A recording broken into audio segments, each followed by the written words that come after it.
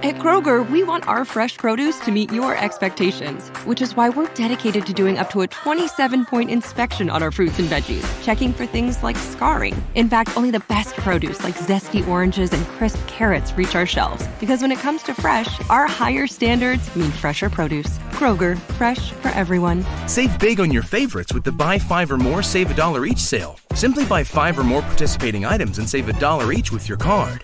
Kroger, fresh for everyone. 92% of households that start the year with Peloton are still active a year later. 92% because of a bike? Not just bikes. We also make treadmills and rowers. Oh, let me guess, for elite athletes only, right? Nope. It doesn't matter if you're an avid exerciser or new to working out. Peloton can help you achieve your fitness goals. 92% stick with it. So can you. Try Peloton bikes, tread, or row risk-free with a 30-day home trial. New members only. Not available in remote locations. See additional terms at onepeloton.com slash home dash trial.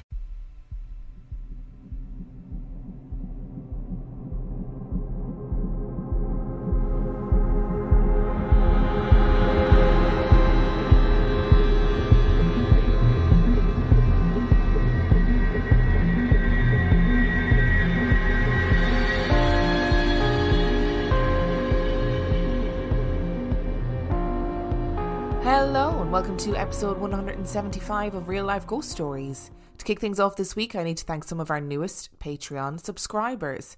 I would like to thank Barbara Linares, Micah May, Jody Udi, Valeria Vastag, Anna Baque, Dalia Zelko, Amy Pieri, Barbara Nelson, Levi Gifford, Carrie Ann Valandri, Gloria, Margaret M., Mylan Martin, Kate Me, Jeffrey Delicate Character, Elizabeth Avery, Bento Bunny, Courtney Goodrich, Mary Jane Pelton, and Sad Pennywise. Thank you so much for subscribing to the Patreon. I love you and appreciate you every single day. And our film review this week, our film review is Umma. Umma was released in 2022. It has 4.6 out of 10 on IMDb and 32% on Rotten Tomatoes. A woman's quiet life on an American farm takes a terrifying turn when the remains of her estranged mother arrive from Korea. This film has been on my watch list for ages and I was really excited to watch it. So I'm going to I'm going to dive straight into the likes, but I am going to warn you that I think this film review is actually going to be quite short. It might be the shortest film review I have ever done on this podcast. So, my likes.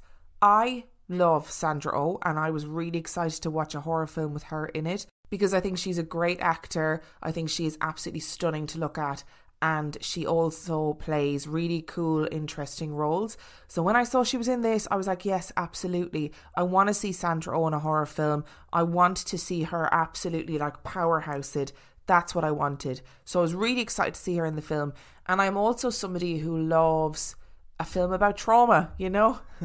give me give me a film about trauma any day. I am a beacon of light and hope and I just love to watch people suffer. And this film is all about the exploration of the relationship between mother and daughter and how that like develops throughout the generations and there's that big question of can you really escape from turning into your parents and if you have an abusive relationship with a parent in your formative years. What does that mean for your relationship with your children if you choose to go on and have them? So there's a lot of really big, deep topics to be explored here. And I personally think these things are really important to explore through the horror genre. I said it when I when we spoke about Candyman that this is happening more and more that horror films are becoming psychological and we're taking really deep looks at the human condition and the impact of generational trauma is insane. And what happens when a child is abused and how they respond as an adult? Like how do we escape becoming our parents and can we ever? And all those questions are really big important questions. And it was as a film it was it was visually beautiful. Like it was stunning. I loved the setting kind of in the wilds of america. I loved the fact that sandra oh and her daughter chrissy were beekeepers and they lived this really remote off the grid life. Kind of loved all that. I loved the exploration of elements of Korean culture that I didn't know about, especially when it came to honouring your dead and your dead family members and your dead ancestors and how that looks and why that's really important. All of those things I loved. That's my likes column. My dislikes column. I was so disappointed in this film. I was so disappointed. I actually, it took me three goes to watch it, so I had to stop it twice to take a break. And not because it was too hard to watch, but because, frankly, I was really bored. And that is not what I want to say about a horror film. I found that the dialogue was really clunky, and I, I didn't, I, I don't know who wrote this film in terms of the script, but like, I didn't like the dialogue at all, and I, I have to say, much and all as I love Sandra Oh, I think she's great, and I wanted to see her being a powerhouse. I feel like she didn't have much to work with, and the acting wasn't great. So apparently, this film was the first horror film that this director has directed, and you know what? You could see it because I had written down in my dislikes there were moments that were so badly edited, and therefore the scare was completely lost. And that really shocked me. I thought, hang on, that's just badly done. Like, you surely can see that that's not well done. And moments that just didn't build any tension. So you know in a horror film, you know there's a jump scare coming. You feel the tension, the music swoops, you you know what's going to happen and you're on the edge of your seat waiting for it. I felt like this film had zero tension and all of the scares, all of the moments that were meant to be scary, I just thought, well this isn't scary at all because there's been no build up. You know, there's been no there's been no indication that anything's going to happen and suddenly there's an old woman in the corner but actually I don't really care about the old woman in the corner. I personally thought it was far too predictable and it being really predictable and coupled with this weird lack of tension meant that like I said I got really bored and I had to keep pausing it to go and walk around and take a break and then come back and watch it.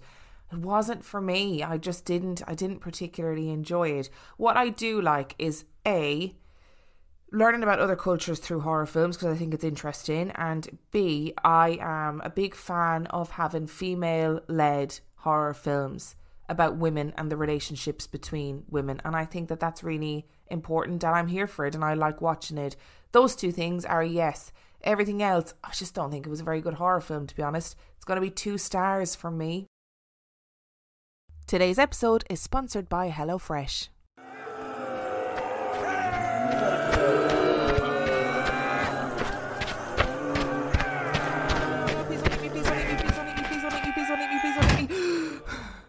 I cannot keep risking life and limb in this zombie apocalypse to go to the grocery store. If only there was an easier way.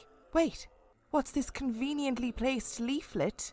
With HelloFresh, you get farm fresh, pre portioned ingredients and seasonal recipes delivered right to your doorstep. Skip trips to the grocery store and the impending zombie doom and count on HelloFresh to make home cooking easy, fun, and affordable. That's why it's America's number one meal kit. You know what'll really take your mind off the flesh hungry horde? Fast and fresh recipes. HelloFresh's latest line of meals featuring robust flavours and filling portions are ready in less than 15 minutes. Enjoy taste and quality done quick with recipes like falafel power bowls, seared steak and potatoes with béarnaise sauce, or Southwest pork and bean burritos. And let's face it, in the zombie apocalypse, we gotta cook smart and we gotta cook fast. And you know what? We don't all want to be out there fighting our way to the store, so you can stock up on snacks, sides, desserts, and more at HelloFresh Market. Simply add these staples and sweets to your weekly order, and they'll arrive on your doorstep along with your meals. More yummy food, less mortal peril. Fictional zombie apocalypse aside, I have actually used HelloFresh in real life for years and I love it. I used them long before I ever advertised for them. It saved me so much time, so much money, and so much food waste.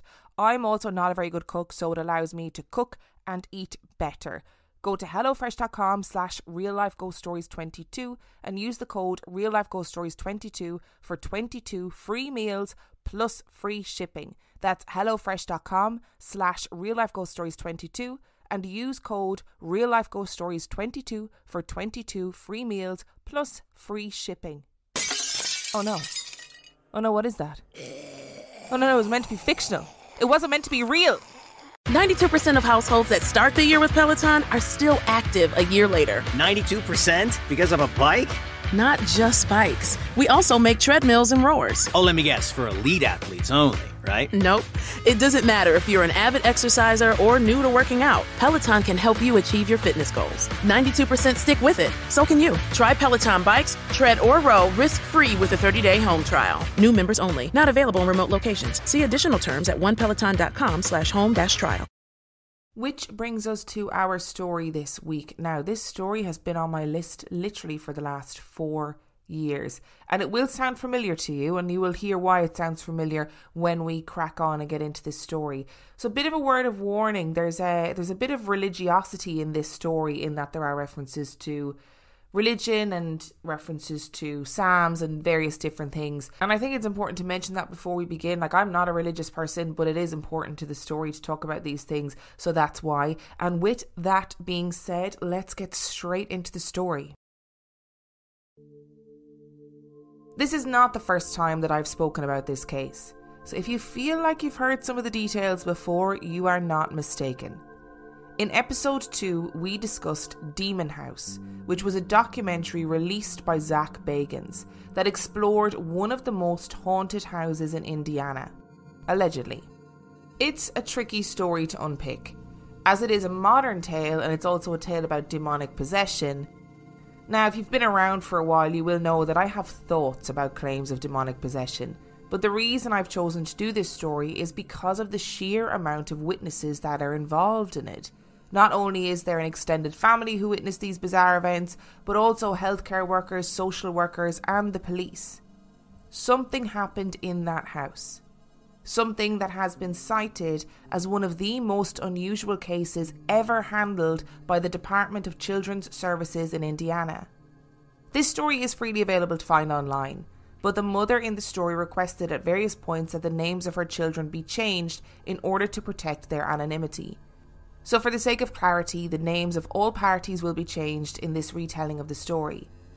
And buckle up because things get very weird very quickly. The house was small. It was uninteresting. It stood unremarkable on the street. But it was home. And for Teresa and her mother Rhonda, they knew it was perfect. Teresa's three small children ran around them, gambling between the two women and running up the steps of the small house. Is this it? they called. Is it ours? This was home. This plain looking little rental cottage was home. Teresa and Rhonda grabbed what they could carry and ushered the three children up the steps and into the house. The children bounced and dodged from room to room, arguing about what was going to go where and who was going to get what bed, and musing about all of the sleepovers they were going to have in this house. As anyone who has moved house will know, it easily becomes a long and drawn out process, and despite the fact that the children aged 7, 9, and 12 were technically at the right age to be able to help, they were far more interested in exploring the quiet neighbourhood and staking claims to beds to be of real use. But eventually, Teresa and Rhonda had the house looking pretty good, and they felt like they were home. It was December, and it had been a chilly night. Rhonda had roused herself and wrapped herself up in a thick fleeced nightgown and padded softly down to the kitchen to get the coffee on. The house was deathly quiet. The children were all still deep asleep, and she knew that Teresa would join her soon for a coffee and a quiet chat about the running order of the day. As she stood over the coffee machine, she heard a faint buzzing around her ear and swiped it away. A rogue fly in December, she thought. And then she listened. Really listened. The buzzing had continued but it was a heavy sort of hum, deeper and more resonant, and was coming from behind her. She turned slowly, not sure of what she would see, but she felt suddenly and inexplicably gripped with fear. Behind her was a screened in porch, and it was smothered in big black flies, buzzing and swarming and crawling over each other. She gasped in shock having never seen such a concentration of flies in one place, and also recognising the fact that it was December and it was icy cold. Where could they possibly be coming from? Teresa shuffled into the kitchen, yawning, and almost walked straight into her mother, who was still standing staring at the dark, buzzing cloud that was continuing to descend upon their porch. Jesus Christ, Teresa breathed to her mother. How in the world do we get rid of those? The flies came relentlessly. The first thing to do was obviously call in the exterminator, which they dutifully did, and the flies were disposed of. Until they came back again. Buzzing black swarms would gather like clouds and descend upon the house, moving around it like great pulsating shadows. The landlord was completely perplexed. They did everything they could to get rid of them. Rhonda knocked on the doors of the neighbours, and no one else had any issues with insects of any kind. It was as though the flies were attracted to their little cottage, but there was no discernible reason why. The war of the flies became an ongoing battle, and weirdly, Rhonda and Teresa just got used to them. But the flies were soon to become the least of their worries. Teresa was lying awake.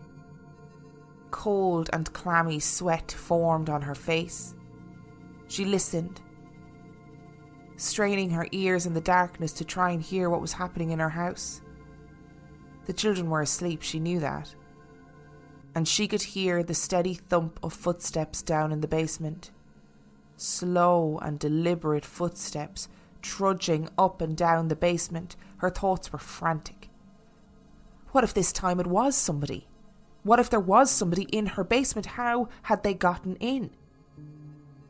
but somewhere inside her she knew that there wasn't somebody in the basement. This wasn't the first time the footsteps had happened. She could almost map their journey to a T at this point. But she had to check. She knew she just had to check just in case. She lowered her legs slowly onto the floor as silently as she could and made her way to the bedroom door. She opened the door, and as her eyes adjusted to the light, she realised that she wasn't alone in the hallway. Rhonda was standing in the hallway with one hand still on her bedroom door, her face strained.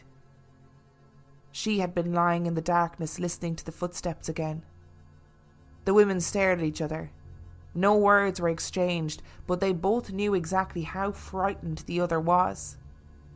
As they listened, the footsteps made their way back down the basement, and they heard the telltale creak of the first step of the basement stairs. And then the second step. Teresa's eyes widened. Jesus Christ, it was coming up the basement stairs. She motioned at her mother to get back in her bedroom and close her door, and Teresa would do the same. The steps were coming closer. Teresa silently stepped backwards into her bedroom, Rhonda doing the same. The steps were at the top of the basement stairs now.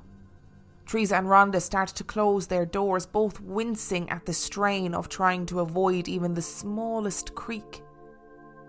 The door handle on the basement door rattled, and they both heard the distinctive click of the door opening and the creak of it swinging open. Teresa hardly dared to breathe as the footsteps came closer to their bedrooms. Her door was open just a crack. She was terrified, but she had to see.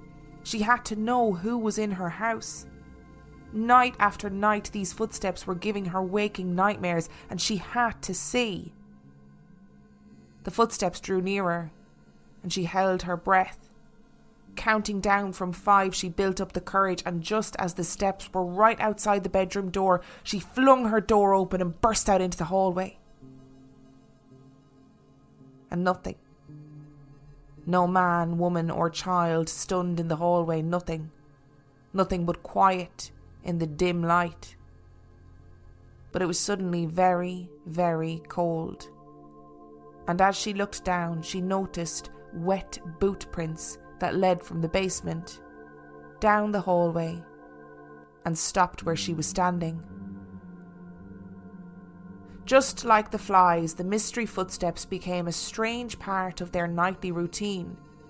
The footsteps would circle the basement, come up the stairs, walk down the hallway, and nothing they could do seemed to stop it. They locked the doors, hoping that this would be a sufficient enough barrier to keep the thing in the basement, but to no avail. The children began to take notice. Mom, why are you stomping around the house at night time? Mom, why are you slamming doors all the time? It was becoming increasingly difficult to keep the activity from the children, and Rhonda and Teresa were becoming more and more concerned.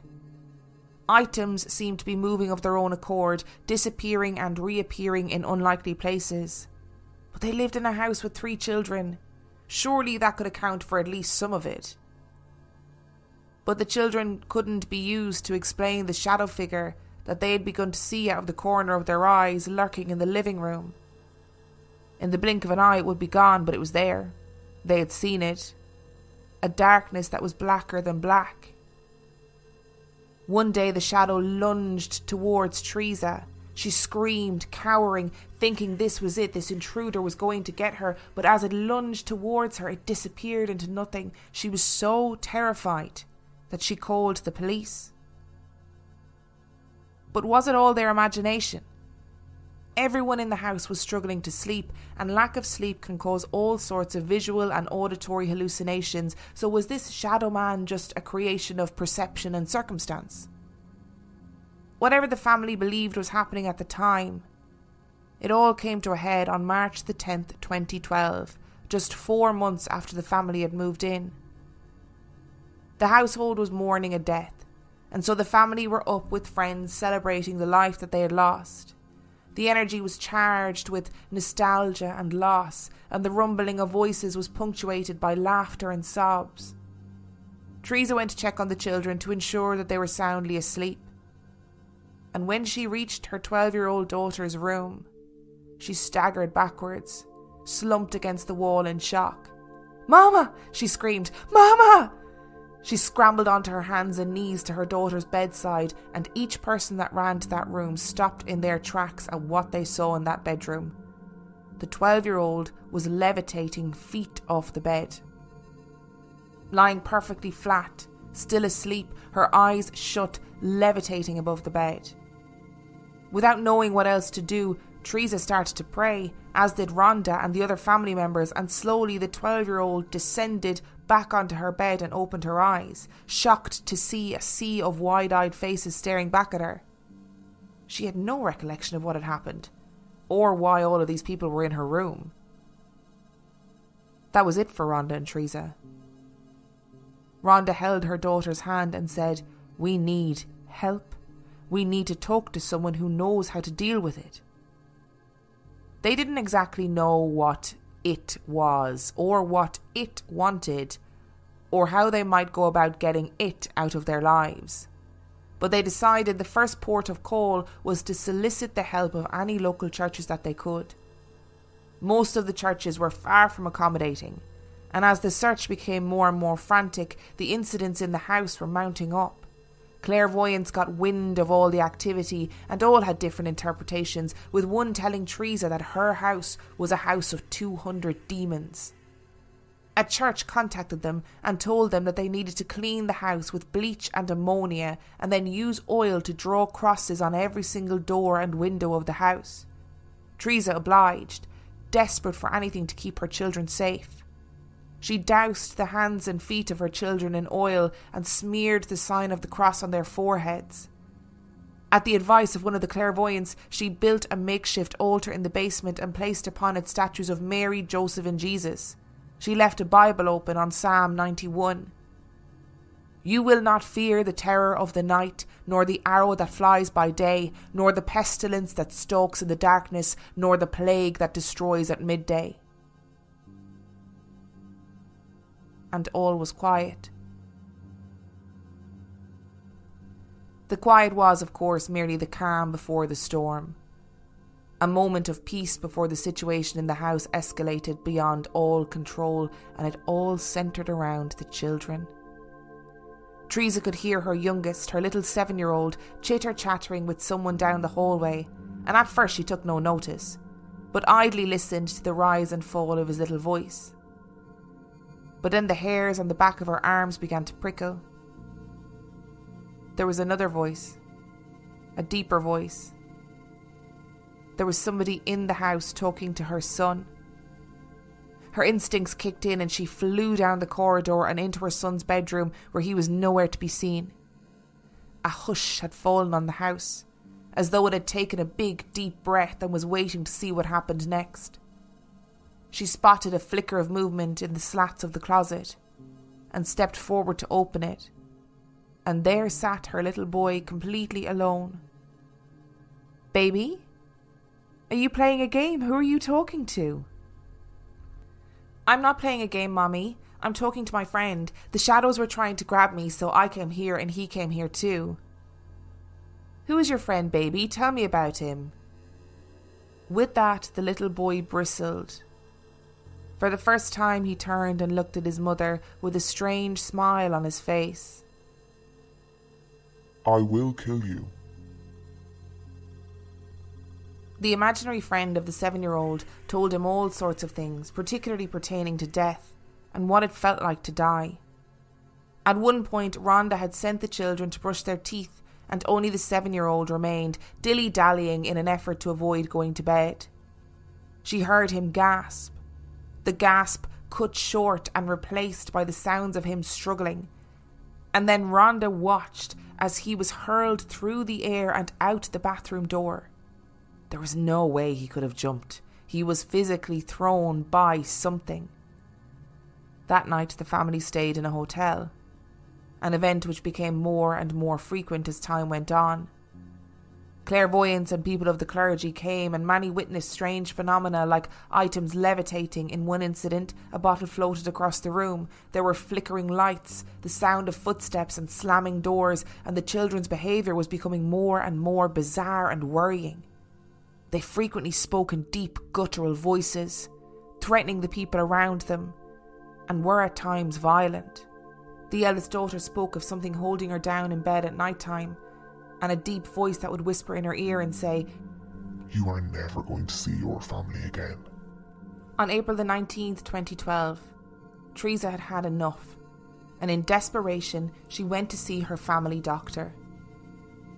The doctor was understandably concerned about the story that Teresa told. The children weren't sleeping and thus they weren't going to school. She believed her children to be possessed by something and that her house was haunted.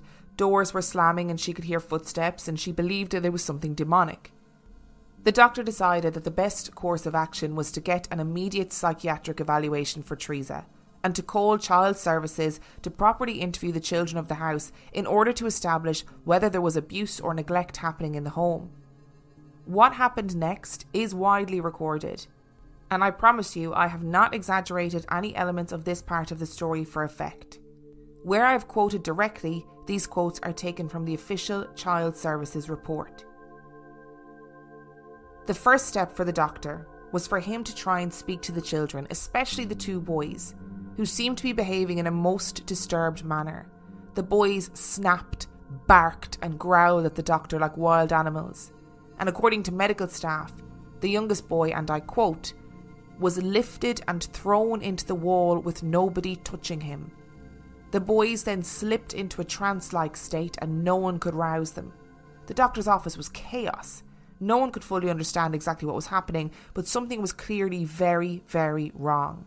Someone called 911, and within a matter of minutes, eight police officers and multiple ambulances showed up, and the family were taken to the Methodist Hospital in Gary, Indiana, where the nine year old boy woke up and was behaving completely normally, like nothing had happened. The seven year old, however, continued to shout in a demonic voice and thrash around. It took five men to hold him down.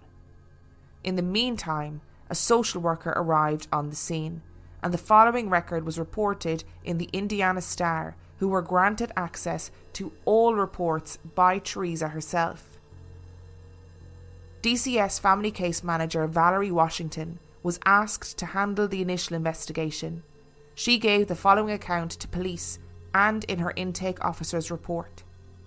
Hospital personnel examined Teresa and her children and found them to be healthy and free of marks or bruises the hospital psychiatrist evaluated Teresa and determined that she was of sound mind.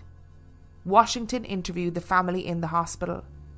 While she spoke with Teresa, the seven year old boy started growling with his teeth showing. His eyes rolled in the back of his head. The boy locked his hands around his older brother's throat and refused to let go until adults prized his hands open. Later that evening, Washington and registered nurse Willie Lee Walker brought the two boys into a small examination room for an interview. Rhonda joined them. The seven year old stared into his brother's eyes and began to growl. It's time to die. The boy said in a deep, unnatural voice. I will kill you. While the youngest boy spoke, the older brother started headbutting Rhonda in the stomach. Rhonda grabbed her grandson's hand and started praying. According to Washington's original DCS report, an account corroborated by Walker, the nurse, the nine year old boy had a weird grin and walked backwards up a wall to the ceiling. He then flipped over Rhonda, landing on his feet. He never let go of his grandmother's hand. He walked up the wall, flipped over, and stood there, Walker told the Star. There is no way that he could have done that.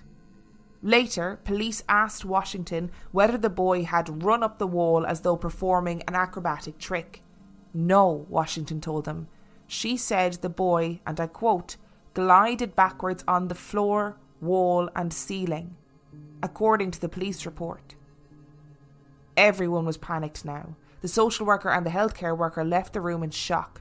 The social worker and the nurse reported to the doctor what had just happened, and the child could not remember what had happened, and nor could he replicate it. The children were removed from the household due to a spiritual and emotional distress. In the time the children were removed from Teresa's custody, Reverend Michael Maginot was called to the house to do an exorcism. In the house, he alleged that he witnessed lights flickering, blinds swinging without any draft, and he saw wet footprints appear in the living room. Police and social services were sent to investigate the house as a protocol to ensure that it was fit for the children to be living in. The police officers stated in their official reports that their flashlights had died despite having new batteries, that their recorded audio picked up voices whispering, and that pictures that they took seemed to show spectral images of shadowy white figures. En route back to the police station, the police officer's car began inexplicably malfunctioning. The police officers noted that the house seemed to be oozing a strange liquid that was slippery yet sticky at various points throughout the house, and they could find no reason or explanation for it. A social worker who accompanied the police on one of their visits touched the liquid, and as she did, it suddenly went from slippery and viscous to a hard, solid material, and her finger went completely numb. She later said that it felt like her finger had been physically broken. An exorcism was performed on Teresa and the house, but she never returned to that house. Her children were returned to her, and she moved to a different house. The House of 200 Demons was bought and demolished by none other than Zak Bagans. And in a Children's Services report dated January the 10th, 2013, it was reported that there was, and I quote, no demonic presences or spirits in their new home. Okay, this story is so complex and there is so much going on. But before we get into any of the nitty gritty of it, I cannot recommend the article from the IndyStar enough. It's linked in the description and it's well worth a read. I actually thought, in fairness, as a as a piece that's designed to be a little bit sensational and like get people reading and whatever, it was very fair and very balanced. It covered kind of both sides of the story, like what the psychologists had to say, what the police had to say, what the family had to say, and I thought it was very non-judgmental. And I would recommend that if you want to kind of deeper dive into this story, that is the article to do it from. I kind of felt like I could nearly just like read the article word for word and it would have made a really good episode. You know what I mean? Obviously, I didn't do that, but it's definitely well worth a read. Um, and as always, just to remind you, uh, the links to any sources that I get my information from are always linked in the description of each episode. So go there if you want kind of what all of the professionals had to say and all the different investigations that they did into the house. Like the police went into the house numerous times, it wasn't just once. Um, but I didn't want to kind of go through every single bit of the police being in the house and it's a very strange story. Um, the other thing that I think is really important to say when we're talking about stories like this is that this story was, I mean, it was famous anyway, but it was sort of immortalized by Zak Bagans, and I think he just, I think the documentary was just called Demon House. And by the end of the documentary, he demolished the house and um, took the stairs, I think, the, the basement stairs to his museum. Fine, Zak, you do you. The problem I have with stuff like this is that the word demonology and demonologists they're bandied around an awful lot, and I actually think I, am pretty light-hearted about everything paranormal. You know, I feel a bit like you do you. Everybody's allowed to have their own beliefs, etc., etc. But when you use words like demonology and demonologists in the context of these people who come on these TV shows or they come on these documentaries or they reference themselves in articles or whatever and they talk about themselves as demonologists, they're talking about I understand how these demons work in the modern day. You've got an infestation of demons in your house. Oh, that that oily substance on your wall, that's a demon. I know because I'm a demonologist. That's not what demonology is. And if somebody's calling themselves a demonologist, you need to have your heckles up and take everything those people say with a pinch of salt. Uh, demonology is a very real thing, but it is not what it is portrayed as in the Hollywood world at the moment. So, demonology is the study of the mythology of demons. So, the mythology of demons within the Bible, the mythology of demons within different cultures, in stories, in poems, all of that stuff. It is not a modern day interpretation of what demons are doing if they're knocking around in a house in Gary, Indiana. So, that's just that's a, my own, that's my own personal bugbear. It really annoys me. And on the topic of the goo, right, the goo that was gooing from the walls the goo that was gooing all over the house? Is this not what CSI was made for? Is this not what all of those science montages in films were made for? You get a sample of the goo, you bring the goo to the lab, and the lab tells you what the goo is. They say, We've tested your goo. We found out your goo is a stage 7 demon. Or, We found out your goo is actually just olive oil that they've been splashing around the house. Whatever it is, why are people not testing the goo? Test the goo, people. I want to know what that goo was. Also, don't be touching random goo in people's houses with your own fingers. Because I wouldn't particularly be worried about ending up with a broken finger like that woman, that like that social worker allegedly did. I would be worried about diseases from unknown goo. How many times have I just said goo in the last minute? I don't know. But you know, the, the goo got me. The goo got me, and the lack of investigation into the goo got me as well. I want to know about the goo. I'm interested in the goo. But apparently it was like dripping from the ceilings. It was like all over the walls. The police did this test kind of on the spot where they wiped all the goo away, um, left the room, locked the door, and then came back 25 minutes later and the room was just completely full of goo again. stop saying goo! Emma, stop saying goo! Sorry, I will stop using that word now. But it was there. Nobody could figure out what it was or where it was coming from. So, demonology and goo aside, how did we get here with this story? What happened? I've got thoughts about it. I don't believe that the house was haunted. That's my that's my gut instinct about it. Now, there doesn't seem to be any evidence that Teresa and her family have ever had any experience since doesn't seem that they're in this new house and like there's no pattern repeating itself. You know, there's been no kind of, oh, my kids are possessed, nothing at all since.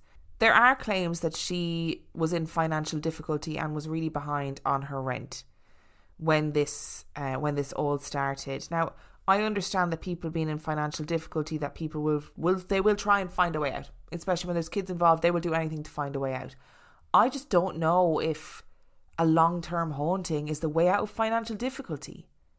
Like, I don't know. I know when people make that claim, they're like, oh, they're, they're thinking about movie deals, they're thinking about book deals, they're thinking about, like, oh, I don't really know. But, but that's really so far into the future and such a gamble. Like, there are more instantaneous ways to make money than banking it all on Hollywood picking up your ghost story in Gary, Indiana. I don't really know what the financial advantage is of claiming that either you or your children are possessed and that all this stuff is happening in your house. First of all, it's incredibly difficult to prove. And second of all, you're not going to see any financial rebate from that for a really long time, in my opinion, anyway. So I kind of, I don't really understand the financial, the financial angle of it and when people say oh she didn't have very much money and that's why she did it. Like you can't turn around to your landlord and say i'm not paying rent because the house is haunted. I don't think that's going to fly you know? And landlords don't have the reputation for being the most empathetic people in the world when it comes to paying your rent on time you know? You pay your rent or you get in trouble. I don't think a haunted house is going to suffice for not paying your rent. Where a house full of goo on the other hand I'm not paying my rent if my house is full of goo and flies. That's a fact. On a really serious note, um, the psychological reports of the children are really interesting. So, psychologists got involved when the children were taken into care and they interviewed the children. And I think, particularly the youngest one, the seven year old, the psychologist said that the possession, in inverted commas, would come out when the seven year old was challenged about something or when he had done something wrong or when he, it was perceived that he had been naughty or whatever, then the demon voice would come out. So the psychologist believed it was kind of a way of not getting in trouble, of getting away with doing things. There was a lot of psychological musing as to whether or not the children were kind of living out the mother's delusions, but the mother was tested by psychiatrists and psychologists multiple times and deemed to be of very sound mind and they didn't think that she actually was suffering from any delusions, but the children seemed to be acting out something that was um, coming from somewhere in the household. And I wondered about the grandmother because she was living in the household too. I wondered if she was the source of the possession narrative. And it does seem like there were behaviour issues with the children in the home. Now, none of the articles I read went into what these behavioural issues were, but it seems like the psychologists were suggesting that demonic possession was kind of an excuse for behavioral issues, which it's a pretty extreme excuse, but having worked with children who have very extreme behaviors, I have genuinely seen demonic possession being posited as a possibility from parents when their children's behavior is so out of control that they don't even know how to explain it or they don't even understand why it's happening. So you might think that it's beyond the realms of possibility that people might think demonic possession is is the cause of certain behaviors, but actually it does happen, and people do think that. I do very much wonder about the grandmother. At a point in the story, in a report, she said, "The demons don't affect me because I was blessed by my birth." So she believed that she was unaffected by all of the demonic behavior in the house because she was somehow more blessed than the others in the household, which I thought was a very strange thing to say. And it was interesting that it's the two boys as well and not so much the girl, although the girl did report having what sounded like episodes of pretty extreme sleep paralysis. So there's so much psychology going on here, right? And you can kind of try and psychoanalyze this family from afar forever. But either way, whatever happened, paranormal or otherwise, this family experienced something that obviously was really traumatic for all of them, pushed them to their wits' end. They must have all been terrified. They must have been absolutely petrified. The children were taken away, which must have been so traumatic for everybody, for the children and for the mother and for the grandmother included. And I'm glad that everything calmed down and they all got to live back together again and that everything seemed to be okay, right? The bit about this story that really gets to me is all of the professionals involved that now, even still to this day, will talk about this case. Like one of the police officers said that he went into that house a non believer and came out a believer because of the stuff he witnessed in that house. The nurse who witnessed the boy walking backwards up the wall will still talk about it to this day and say that is what happened. That child walked up the wall and flipped over his grandmother, and I do not understand how that happened or how he did it. I thought when I first saw this story that perhaps the child, like the police suggested, sort of took a run at the wall in a kind of a parkour kind of thing and it took everybody by surprise. So it got exaggerated, or people were like, whoa, how did he do that? There's no way he could have done that. That was my instinct when I was first looking at this story that it was like a little little parkour, little demonic parkour incident and everybody got a bit panicky about it because of the context that was, you know, children speaking in really deep voices. Nobody knows what's going on. Everybody's frantic, and this kid runs up the wall and does a flip. So everyone's like, "Whoa, what's happening? Definite possession, etc., etc." But that is not what they describe. The social worker and the nurse do not describe that. It seems like it was a slow, protracted movement. That this child walked up the wall and then flipped over and there are great articles out there as well, skeptical articles that kind of take apart this story bit by bit. And one of the things that is pointed out is that all of the professionals who witnessed this say that the child didn't let go of his grandmother's hand during this kind of incident where he walked up the wall. So the skeptical part of it is well, was he being physically supported by his grandmother to be able to do this feat? Was it quicker than what the nurse and the social worker remember? Like, did he actually walk slowly up the wall or did he run up the wall?